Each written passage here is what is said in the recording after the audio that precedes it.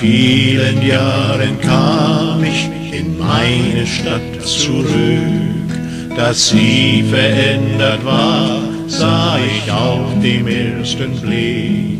Ich kannte jede Straße, ich kannte jedes Haus, doch jetzt sah alles anders und nicht mehr wie früher aus. Doch jetzt sah alles anders und nicht mehr wie früher aus.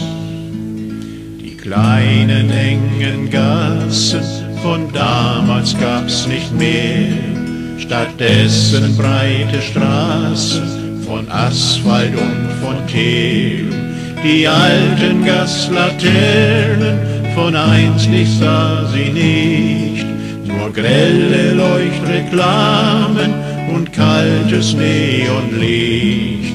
Nur grelle Leuchtreklamen und kaltes Neonlicht.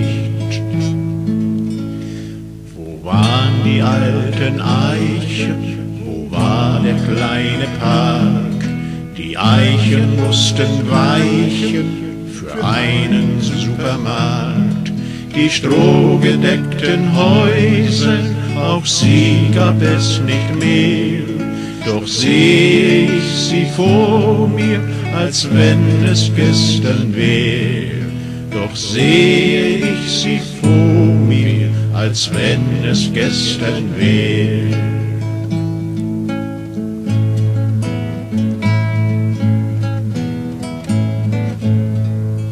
Der kleine See am Stadtrand, auch er war nicht mehr da, ganz einfach zugeschüttet, weil er im Wege war.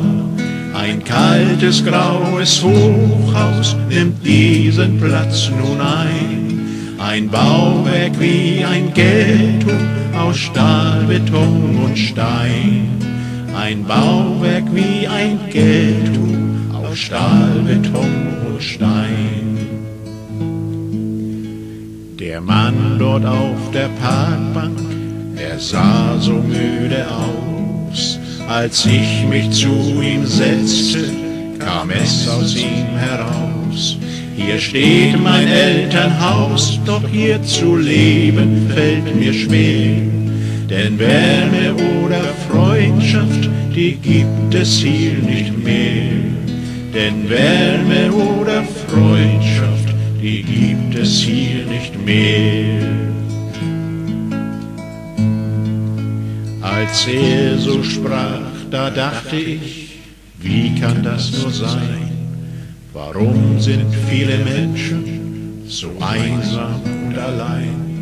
Ein kleines Licht jedoch durchdringt die tiefe Dunkelheit, die Hoffnung und der Glaube auf eine bessere Zeit, die Hoffnung und der Glaube auf eine bessere Zeit.